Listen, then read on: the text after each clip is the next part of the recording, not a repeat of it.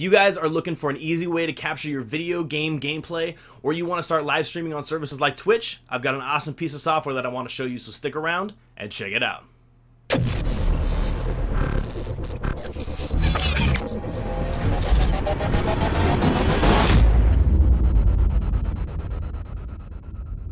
Alright guys, so the software that I wanted to show you guys today is called Cyberlink Screen Recorder 3. And this is hot off the press, it's brand new. Cyberlink just released their latest version and they sent it over to me because they wanted me to do a review and show it to you. So I've been playing with Screen Recorder 3 for a little while now and I can honestly say it is just as easy to do and to use as I expected it would be. Um, just like Cyberlink kind of said, they said it was going to be easy to use and a powerful tool and you know what, it is. So today I wanted to show you just a real quick rundown of all the features that it has available um, and then some of the ways ways that you might be able to use it to, to record your screen, record your gameplay, and get it prepared for like YouTube and other services like that. Or if you want to live stream, it can do that too. So let's take a look and let me break down the software um, so you can kind of get an idea of what it looks like. And then I'll show you some of the footage that I recorded using it.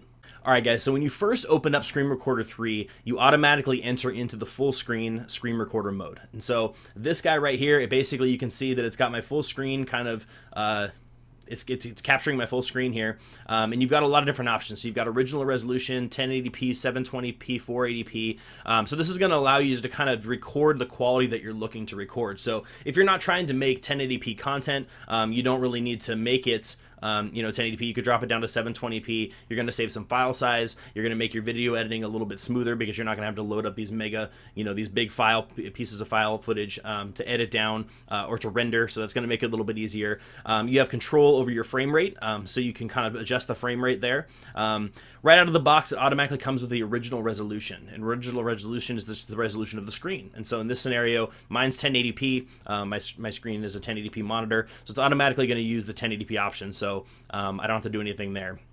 Um, you can have it automatically record your mouse clicks.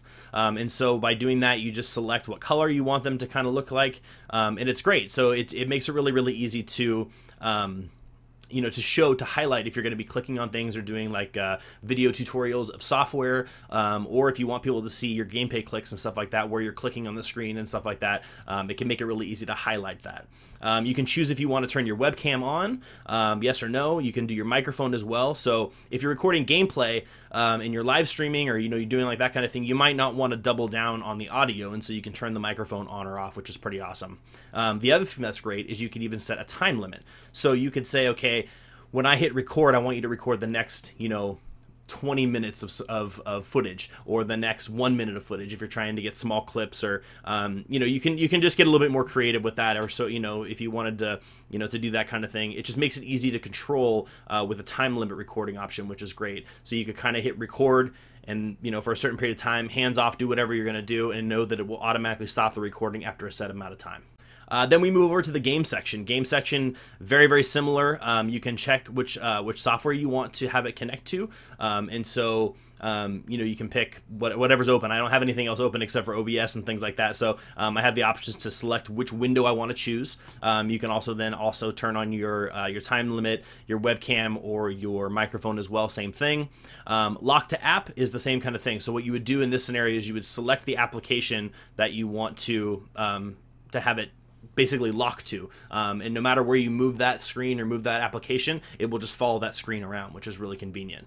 Um, custom is basically you just make a selection and you pick the portion of the screen that you want to record. Um, you know, a lot of software can do this, but this one does it, and it's very, very simple. Um, and you can adjust it by just moving the uh, the corners here and make it super simple. And it shows you the resolution of the recording uh, down below as you make those alterations to the size. Then you have the last option, which is device. Uh, basically, you can choose uh, the input device, so you could record from a video camera, from uh, from an external monitor, so you could do uh, like you know like if you have or if you have um, a capture card, you could record from a capture card. Um, so you can use this to do multi multi device streaming or or recording, which is great. Uh, same options: video resolution, FPS, webcam, microphone, same settings there. Um, so super simple, makes it really easy to do the recording that you're looking to do, um, and that's that's it for the recording side. It's very very simple, very straightforward straightforward, um, but powerful, customizable, and allows you to do a lot of things and has a lot of functions that allow you to kind of get more creative with the content that you're recording. So now we move over to the Stream tab. Now, just like I said, guys, if you're looking at making just easy, if you're really just wanting to just learn how to kind of start going live on Twitch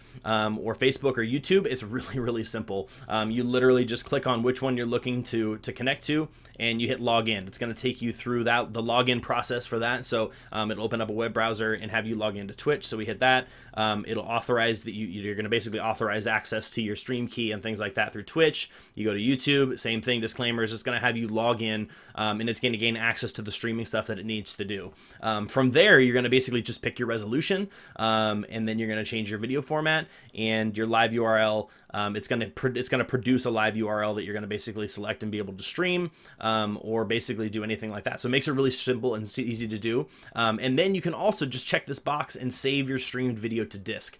So this was a feature that was actually really cool when I saw just hitting that tick box because it's gonna allow me to stream, do all my streaming stuff, but then it's also gonna save a recording to my to my computer at the same time without having to do two separate things. Um, so for example, in contrast, if you go into OBS, you hit start stream streaming and then you have to start start recording. So it's two steps. Um, this just makes it easy in one. You just hit live and you go, and it's that simple.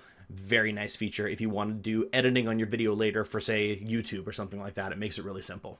All right, so now let's jump into these settings. So let's get into a little bit more of the nitty gritty. So general settings, you got your basic stuff always on top, minimize after launch, minimize when recording and streaming starts. So this is the window. So this window here is going to minimize um, you know, when the recording starts and stops. So that's kind of nice. Um, show when recording is streaming is complete. Um, automatically check for updates, blah, blah, blah. Same thing. So file, you get to choose your, uh, your folder extension. So if you're trying to record uh, your video or if you're trying to save the streamed video, so this, if you hit that, check that box, the save streamed video to disk, um, this is where you would tell it where you're going to be saving that. Um, and then you can have it also append something to the um, to the file name. So in this example, what I did is I just put CSR3, so which is um, you know Cyberlink Stream Recorder 3, and it'll put that at the end of every single uh, video file, which is great. Video options, um, monitor setup, so you can have it automatically detect the monitor that you use mostly for gaming. So I put my streaming service or my streaming and recording software on one screen, and I do all of my gameplay on another screen, and I can automatically tell it which stream it is that I want to that I want to start capturing right away, um, or I can change it on the fly depending on what I want to do. Um, enable hardware encoding. Um, it just adds to your performance. So if you've got a nice, you know, powerful GPU, um, you can check that box, and it's going to help out with the recording or the streaming as well. Creating an MRQ file so that's you know recording so it just makes it easier if you use PowerDirector to record uh, which I do which is nice. So this makes it so keeping with the Cyberlink family of software they like to make it easier for you to do your your editing and recording within their ecosystem of software. So they've got audio software uh, you know now they have recording software editing, editing software. They've got everything that you need. And so just by clicking that, it just makes everything easier to load into uh, Cyberlink PowerDirector, which is the software that I use to do my editing. Um, lock applications, record only selected window, and then your bitrate you can adjust um, here as well with the little slider. From there, we go to audio, uh, microphone on off, system audio on off. You get the mix, so you can adjust if you want. Because if you have both of these turned on, um, they're going to be competing for for you know the, the they're going to compete for the sound that you want to hear. So if you're playing a really high intense, a lot of sound games going on, um, you'll want to switch more towards the microphone side so that people will hear you more over the top of the gaming software or over the gaming sounds. So you want to make sure that you have that kind of adjusted the way you want it. Um, you can choose your microphone setup here, the mic volume. Um, it'll show you your, your audio slider there. Input devices. Um, you know, it just it just gives you all the freedom to do your to do your microphone stuff there. Webcam, same thing. Um, you know, my webcam is currently in use because that's what I'm using to record. Um, but you can do the um, it's letting me know that it's not available because it's not. Um, we're gonna get rid of that. All right, so hotkeys. Um, so this is really nice. So this is just the easy way. So if you're using, you know, a Stream Deck or anything like that, or, or for my example, I use a Logitech uh, G710 Plus, which has a set of G keys along the left side. And what I do is I can create shortcuts um, on all of those to correlate with all these. So starting and stopping, recording or streaming, pausing, resuming, recording, microphone on and off, webcam on and off, and it makes it just really easy to, you know, if I need to step away for a minute, camera off, microphone muted, that kind of thing, and take a screenshot. You know, it just allows you to do that kind of stuff. Um, and then they have their improvement program. So this just allows you to send back files that, you know, they're not designated, they don't share any personal information, but it sends it back to them if there's crashes um, or your usage information that they can use to produce and make this software better as time goes by. So that's it, guys. Um, so Stream Recorder 3, I've been using for a little while now. Um, the, uh, the video that I recorded has been great. You know, I've used a lot of video recording software like OBS, um, NVIDIA's built-in ShadowPlay stuff, um, and it, it, it's, it's right up on par with everything else. So if you're looking for a solution that's going to make it easier for you to record your stuff um, and even get involved in live streaming, if that's something you're looking to do, um, or Screen Recorder 3 by Cyberlink is something that you should definitely take a look at. Um, I'll put a link down in the description below for you to check it out, but as far as I'm concerned, um, it's great quality software. So really quickly before I let you go, let's take a few look at a few clips that I that I created using Screen Recorder 3.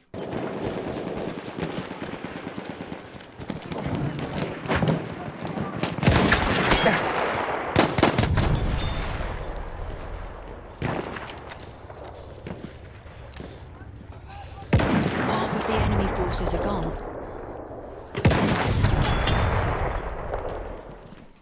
Right, right, right of us, right of us, east of or uh, or east of us, yeah.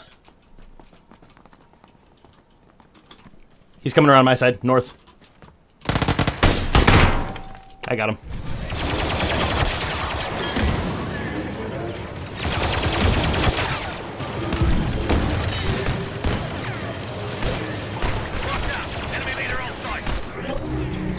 So as you can see, guys, the quality is great. It's super high quality. Um, it looks, you know, just like any other software out there would. Um, but like I said, guys, hopefully this made it easy for you to see why this is such a great solution for your recording or streaming needs. Um, I'm going to be using it going forward to record my video uh, for my gameplay and stuff like that. But um, hopefully this sheds some light on it. Uh, as far as a review goes, I think it's fantastic. Um, it's really easy to use. It's lightweight. You don't even know it's there. If you get your hotkeys set up, um, it makes it super easy to adjust your you know starting and stopping recording you know taking screenshots and stuff like that it just makes it really easy it's all packaged into one piece of software that's just really straightforward and easy to use um, and so overall i think it's fantastic Hopefully you do too. If you want to learn more, like I said, guys, there's a link in the description below. Make sure you check that out there. Um, if you have any questions, please let me know in the comments below. And if you like this video and you want to see other reviews, uh, plug and play, I do reviews of hardware from microphones, cameras, lighting, all sorts of stuff, and software, mobile apps that are designed for content creators like me and like you to help you make your content better. So if that sounds like something that you're interested in learning and seeing more of, Please don't forget to like and subscribe, and I'll see you guys next time.